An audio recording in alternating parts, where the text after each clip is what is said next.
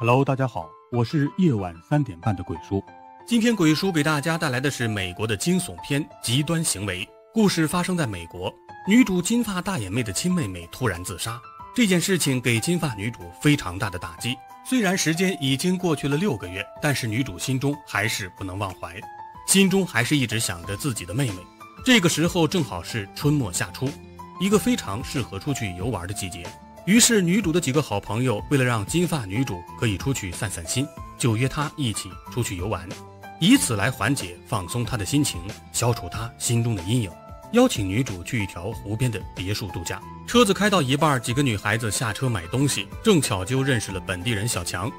女主的几个朋友也是非常漂亮，正好小强也长得不错，只是几个人认识的也比较快。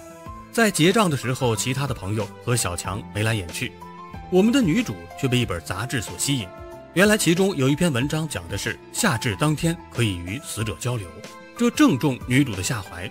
因为非常想念妹妹，当然想试一试用这个方法来和妹妹交流。镜头一转，几个人来到了别墅，几个人分别到别墅房间里去收拾东西，女主也进入了自己的房间。然后他看着熟悉的室内摆设，又陷入了妹妹自杀那天的回忆。妹妹自杀的时候，她好像经历了非常可怕的事。金发女主在整理妹妹遗物的时候，找到了一个钥匙扣小熊，正整理着衣物，突然间她听到了厕所有呼噜的声音，她把小熊扔进箱子，去卫生间查看情况。谁知道打开水龙头流出的不是清水，却是黑色的污水。这时候卧室又传来奇怪的声响，金发女主透过门缝看到了有一个人影闪过。女主进入卧室，发现收纳箱被人打翻了，但是她没有看到人，于是她也没有多想。只是把箱子重新整理好，收拾好。晚上，女主洗手的时候又出现了幻觉，原本白白净净的手突然沾满了污泥，而且手指甲也断了，流血了。再定睛一看，发现手还是白白净净的。晚上睡觉的时候又做梦，梦到一个人去拿小熊钥匙扣，醒来一看，地板上出现了一溜泥脚印。金发女主跟着脚印走出屋外，发现汽车车灯亮着，于是她走进车里，但是车里并没有人。她没有多想。拔下车钥匙就打算回去，谁知道走到一半车灯又亮了。女主很害怕，问到底是谁？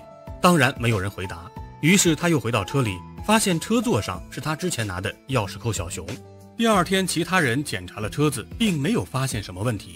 此时的金发女主正在晨跑，谁知道意外之间掉到一个泥坑里，弄得满身是泥。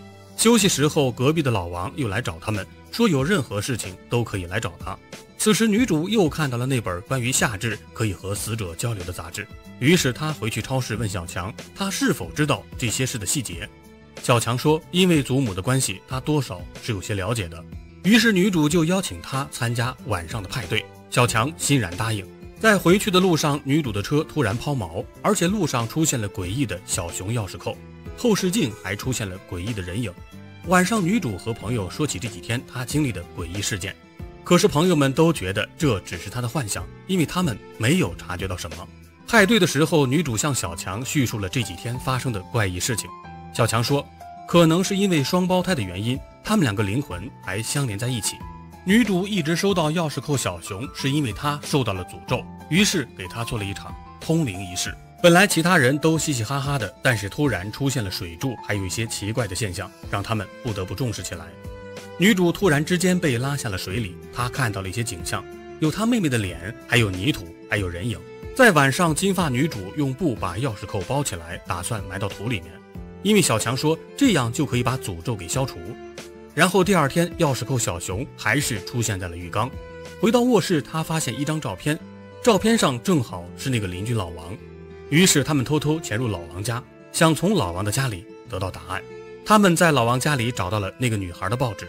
女主问：“这个女孩是谁？”小强说：“这个女孩是老王的女儿，而且这个人在一年前就失踪了，到现在还找不到人。”晚上，女主突然胃部不适，开始吐出大量泥水，同时又开始陷入幻想。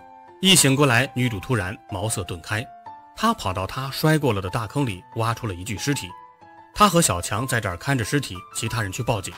其中一个同伴面色不对，陷入回忆中。原来是这个男的一年前和妹妹在这里玩耍。不小心撞死了老王的女儿，两个人为了脱罪把人埋了起来。妹妹因为承受不住心里的谴责自杀了，妹妹的灵魂也一直指引姐姐找到女孩子的尸体。最后真相大白，男人得到了应有的惩罚。好了，电影到这里也就结束了。